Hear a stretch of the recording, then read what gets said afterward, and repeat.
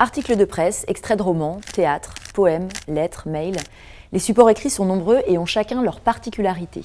Je vais essayer dans cette vidéo de vous donner des démarches et des astuces pour accéder au sens d'un texte en espagnol, quelle que soit sa nature.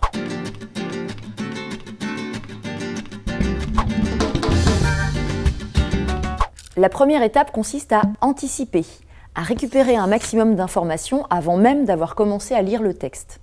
Dans cette phase d'anticipation, vous allez normalement pouvoir identifier le type de document, le contexte d'écriture ainsi que le thème. Pour cela, commencez tout d'abord par identifier la forme du document et déterminer ainsi s'il s'agit d'un poème, d'une scène dialoguée, d'un extrait de roman, d'un article de presse, etc. Intéressez-vous ensuite au paratexte et à toutes les informations qui peuvent s'y trouver. Le paratexte, c'est l'ensemble des informations qui se trouvent autour du texte. Le titre, qui vous donne parfois des mots-clés sur le sujet qui est traité, ou dont la forme vous donne des pistes sur le contenu, comme dans ce texte, Jordi Cruz, un joven exitoso, dans lequel nous trouverons certainement des éléments biographiques. Lorsque le titre est une question, il s'agira très probablement d'un sujet discuté. Dans le paratexte, vous lirez aussi le nom de l'auteur ainsi que la source qui vous permettra de déterminer s'il s'agit d'un extrait d'un article de presse, si le document a été pris sur Internet, s'il s'agit d'un roman, d'une pièce de théâtre, etc. La date d'écriture ou de publication va vous permettre ensuite de situer le texte dans le temps et de trouver le contexte d'écriture. Méfiez-vous cependant de cet indice car le moment de l'écriture ne correspond pas nécessairement au moment où se passe la scène. On peut par exemple lire un extrait de roman récent, euh, publié en 2019, mais qui raconte une histoire qui se déroule pendant les années 50. Prêtez attention aux illustrations qui, si elles sont présentes, sont une aide précieuse pour imaginer quel sera le thème avant même d'avoir commencé la lecture du document. Aidez-vous aussi des notes de bas de page, qui sont souvent des mots dont on vous donne la traduction car ils sont indispensables à la compréhension du document. Enfin, lisez le chapeau introductif car vous pourrez y trouver des informations de contexte. Ces premières lignes, souvent en italique ou en caractère gras, s'apparentent même parfois à un résumé du contenu du texte, notamment dans le cas des articles de presse. Passons maintenant au texte en lui-même et au repérage. Je vous conseille tout d'abord de le lire une première fois sans prendre de notes ni rien souligner, juste pour voir si vous comprenez le sens global du document. Lors des lectures suivantes, vous pourrez identifier le narrateur. Est-il auteur ou personnage? Et pour cela, observez bien les personnes utilisées en repérant les sujets, les pronoms personnels. Vous devrez ensuite repérer les informations essentielles. Pour cela, répondez tout simplement aux questions quién, dónde, cuándo, qué.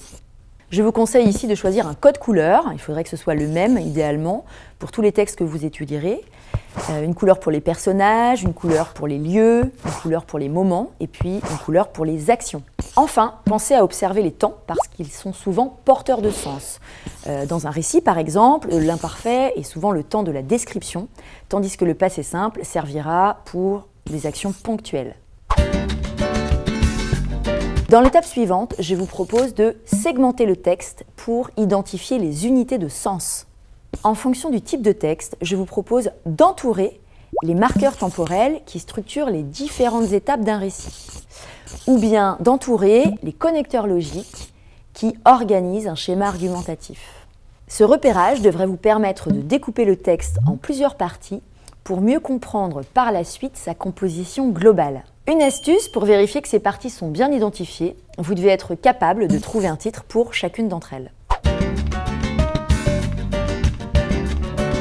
Passons à présent à la compréhension plus fine, plus précise du document. Si certaines zones d'ombre subsistent après plusieurs lectures, rien d'inquiétant, vous devriez être capable de reconstruire les éléments manquants en suivant ces quelques conseils. Premièrement, il est possible de comprendre une phrase sans en connaître tous les mots. Pour cela, il faut s'appuyer sur les mots connus et sur les éléments de contexte pour imaginer le sens global du message.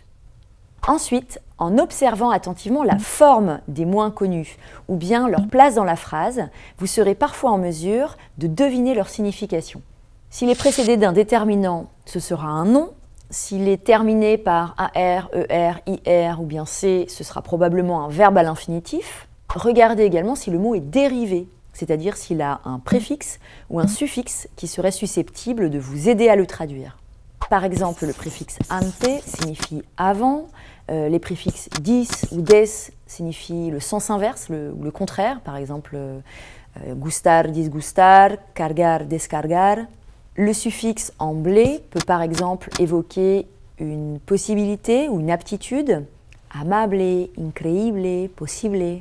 Le suffixe en eria fait souvent référence à des commerces, panaderia, carniceria, peluqueria. Le suffixe en mente sert souvent à fabriquer des adverbes euh, comme claramente, inmediatamente, possiblemente. Enfin, appuyez-vous sur les mots transparents en prenant garde aux faux amis. Dans cette nouvelle étape, mettre en relation, vous allez essayer maintenant de reconstruire le sens global du document et puis aussi vous allez essayer de lire entre les lignes pour parvenir à une compréhension plus fine.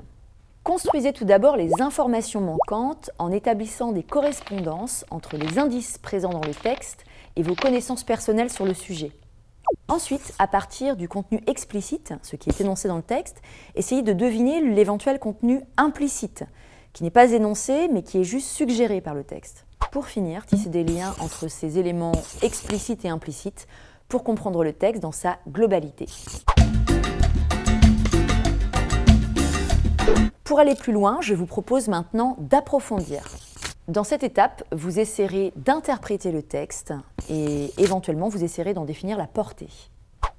Pour cela, repérez et analysez les différents procédés d'écriture utilisés par l'auteur et identifiez ainsi la tonalité du texte, ironique, sarcastique, nostalgique, humoristique, N'hésitez pas à faire appel à vos connaissances en français. Je pense notamment aux figures de style, aux jeux lexicaux, à l'organisation du discours.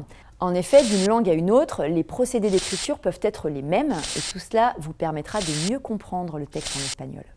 Comme pour l'analyse d'une image, d'un tableau, ce qui est intéressant, c'est d'essayer de percevoir les moyens utilisés par l'auteur, qu'il soit journaliste, écrivain, poète, pour provoquer quelque chose une réaction, un sentiment, une émotion chez le lecteur. Pensez aussi à replacer le texte dans un contexte historique, littéraire, en faisant des analogies avec d'autres textes et en puisant dans vos connaissances personnelles. Comparez le document à d'autres textes pour en saisir la spécificité et voir comment le texte est traité. Enfin, trouvez le lien entre le texte et la problématique de la séquence que vous êtes en train d'étudier en classe. Voilà, j'espère que ces propositions, ces conseils vous serviront pour être plus efficace lorsque vous lisez un document en classe.